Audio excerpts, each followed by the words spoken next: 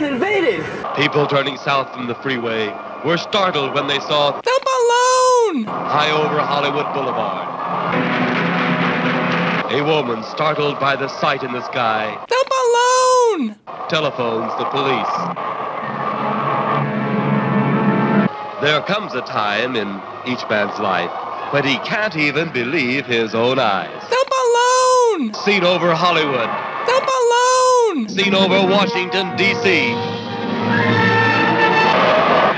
The balloon! Rockets were quickly set up. Colonel Tom Edwards, in charge of, The balloon! was to make the greatest decision of his career. He made that decision. Colonel Edwards gave the signal to fire.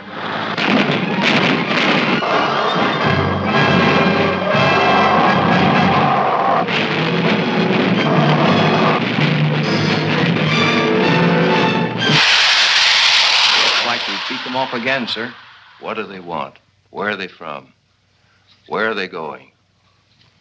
They, sir? Who? Well, this is a training maneuver, sir. We only did a little practice firing at the clouds. Yeah. I wonder what their next move will be. This is not a test. This is not a test.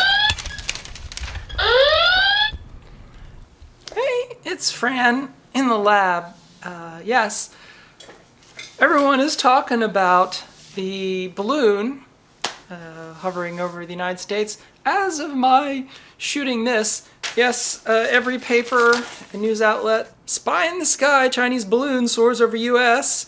and uh, big write up in the Times. Got a whole page. Here's right there. So yeah, uh, Chinese launched a high altitude balloon. So it's, it's hovering around 60,000 feet, and um rather than talking about why there's a spy balloon hovering over the continental United States, the number one thing that people are talking about instantly is why don't we just shoot it down? And the Air Force said, well, no, we really don't want to do that. we don't want to shoot because we don't know what's on board.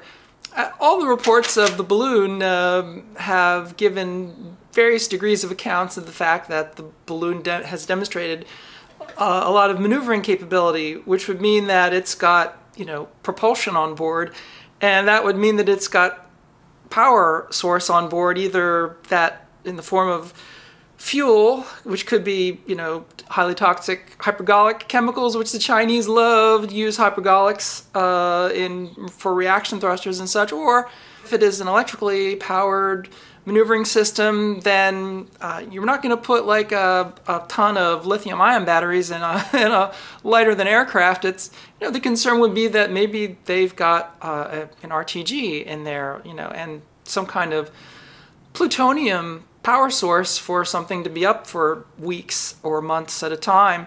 Real question marks as to why they did this. A lot of the writing, at least the better writing about it in the US, has uh, really surrounded the real scratching of the head of why we do we have a high altitude balloon over the United States from China, when, you know, something that's easily seen with every kind of detection system that we have, easily followed with high altitude aircraft. Why? And especially on the heels of the fact that the Secretary of State of the U.S. was supposed to be meeting uh, with the Chinese this week, uh, which has been canceled. So yeah, they don't want to shoot it down because they don't know what's on board. I speculate that as soon as this balloon gets over the Atlantic Ocean, they will bring it down in a controlled manner to retrieve it and uh, analyze it.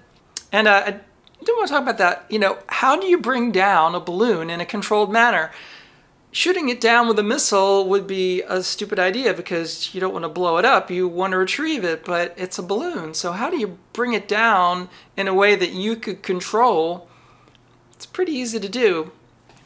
So, high altitude balloons, they start out uh, just as a really big mylar sac uh, that they fill with uh, helium, usually helium. Hydrogen really isn't used too much, although I, I can't really say what the Chinese would use, but it's, it's probably helium. But when they inflate the balloon initially, they just put just enough helium into it to get it uh, buoyant, to get basically to get the whole balloon and gondola buoyant. And uh, at launch, it sort of looks like this. You know, it's just a little bubble of helium at the top, and the rest of the balloon is all sort of just uh, drawn together down to the gondola. And as this rises up in the atmosphere, it begins to expand more and more as it gets into lower and lower atmospheric pressure. And as the expansion happens, the rate at which it ascends also increases, so it starts rising faster and faster as it gets through the lower atmosphere and into the more rarefied atmosphere. By the time it gets up in the stratosphere, it's going to be fully inflated like that. And then its maximum altitude is really limited to the size of the balloon. Once the helium or hydrogen, whatever gas it is, once it uh, expands to completely fill the balloon and it's completely outstretched, it's not going to be able to gain any more altitude.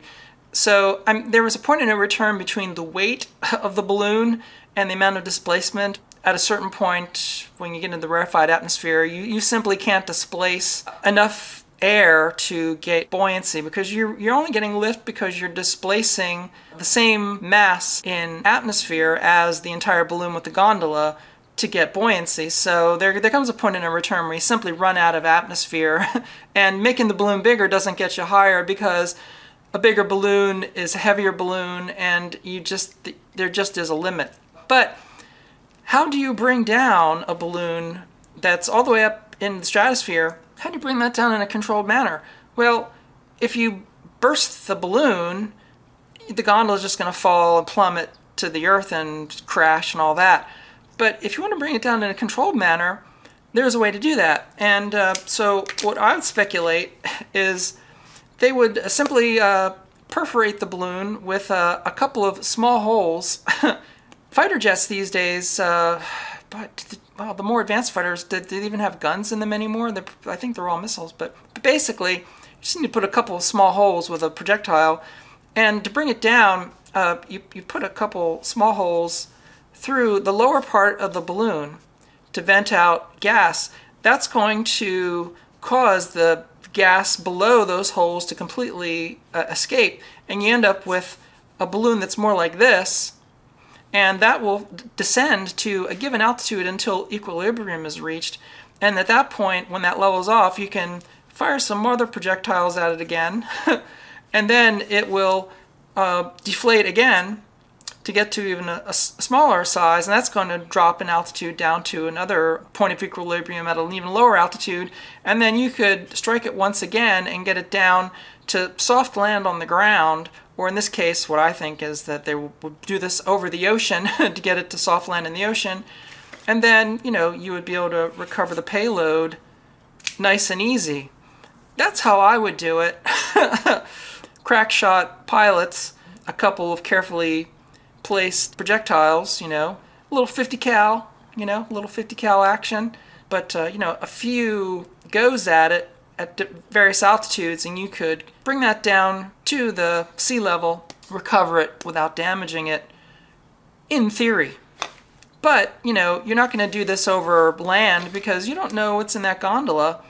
And, you, you know, if you make any mistakes in this, if the balloon tears, you know, you end up with a rip in there and that gondola plummets all the way to the ground. Well, you don't want that happening over Montana.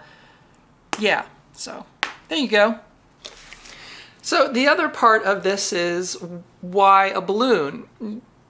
There is a misconception that satellites give you everything you need, and there's also a very common misperception of the degree of resolution that you can get with cameras that are mounted in satellites because people forget that there's 50 miles of atmosphere between the satellite and whatever you want to take a picture of, no matter how low the altitude of the satellite is, no matter how large the telescope is, no matter what size the aperture and all that, the optics, you're looking through 50 miles of atmosphere to get to the ground. So the idea that you're going to read an iPad at an altitude of several hundred miles, um, it's just not possible. But a balloon, however, you know, 60,000 feet, you are so, so, so much closer to the ground. And not only the visual uh, information that you can get, but also local radio and other kinds of things. Um, cell phone transmissions, you can tap into cell phone networks, all kinds of stuff like that. reconnaissance that is done pretty much like almost on the ground, 60,000 feet.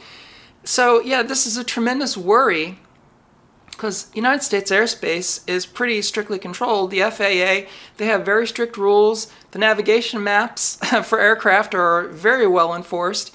And certain areas of the country, especially the really highest restricted military areas, it is a no-fly zone. No aircraft are allowed to go over those areas. And this balloon is sort of going over these areas, missile bases, uh, various things like that. So yeah, it's a tremendous worry and obviously, there won't be another one of these because the next one of these that they see coming out of China, they're probably going to shoot it down over the Pacific or over the Arctic or however it actually comes over. I think this one actually came over Alaska. So, yeah, interesting to see what happens to this one. If if they shoot it down, we may never know uh, exactly uh, what they find. But you know, it it does uh, follow up to a similarly related item that. Um, recently reported the UFO study leaves slew of sightings unexplained. Uh, this was uh, uh, January 13th. Uh, it was a short blurb because, you know, uh, we a couple years ago they published the report, and uh, since then, the last two years or so, yeah, a new report released by the Office of the Director of National Intelligence they examined 366 incidents either observed or submitted since the last report on unexplained phenomena in 2021, so yeah, two years, give or take. Of the new incidents, 26 were found to be drones, which is interesting in relation to this. Uh, um, 163 were balloons, and six were more airborne clutter. Uh, and, and, quite interestingly, in this list, uh, remaining 171 incidents uh, are still uh, unexplained. So yeah, but kind of exactly what I expected as far as like the data gathering. I because I'm just as interested as anyone to find out exactly what all this stuff flying around is. And we're not going to know anything unless we gather data, and that's what this is all about. But it is interesting that yet one more object flying around, uh, Chinese balloon. Yeah. Never a dull moment. All right, I'm Fran. Thanks for watching. Thanks to the patrons down on Patreon, making all this possible. Won't be able to do this crazy stuff without my patrons. So thank you, thank you, thank you, everyone on the Patreon. I'm Fran. I'm back at the desk doing something scientifical like real soon.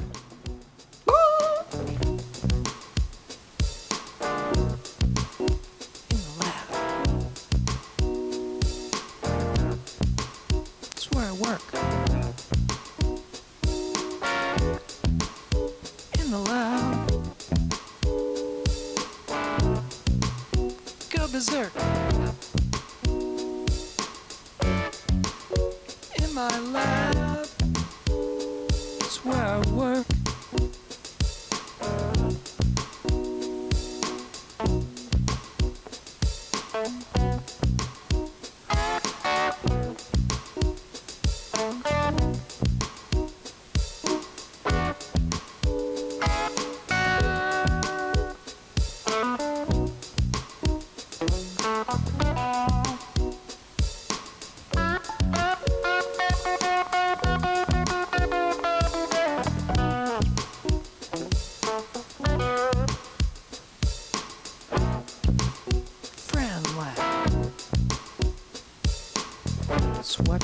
what.